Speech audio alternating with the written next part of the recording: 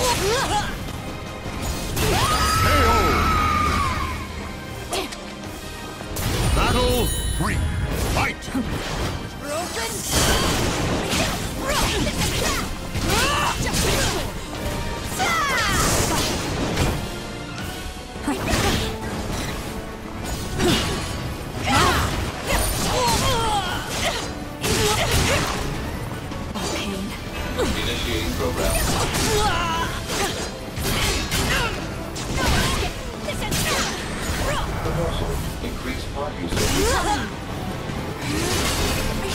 KO! Turn this around. Potential for reckless behavior. Proposal.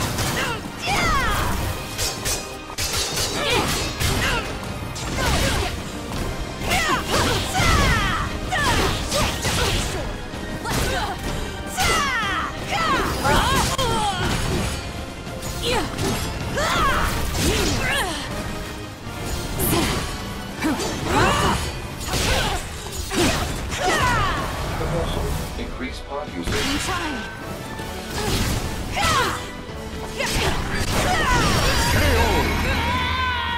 Understand now? Blessings for those who have repeatedly escaped the clutches of death.